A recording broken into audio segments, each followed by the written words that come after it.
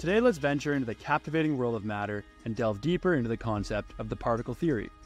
This theory is a cornerstone in understanding the fundamental nature of matter and plays a vital role in distinguishing between two essential concepts pure substances and mixtures. Imagine holding a handful of sand. Now think about each tiny grain of sand being made up of an inconceivable number of incredibly minuscule particles. This is the essence of the particle theory, a foundational concept that states that all matter, regardless of its state, solid, liquid, or gas, consists of these unimaginably small particles. Particle theory grants us a peek into the hidden world of matter's building blocks. It explains that these particles are in constant motion, vibrating and colliding with one another. This dynamic dance is what gives matter its distinct properties and characteristics. Now let's apply this theory to distinguish between pure substances and mixtures.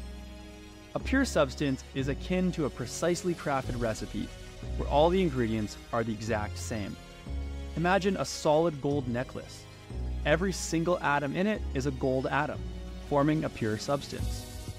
On the other hand, think of a mixture like a bowl of colorful candies.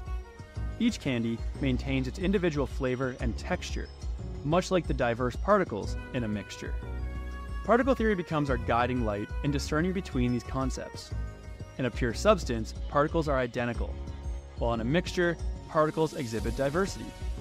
It's like comparing a tray of identical shaped cookies, or pure substances, to a medley of assorted fruits, which would be close to a mixture.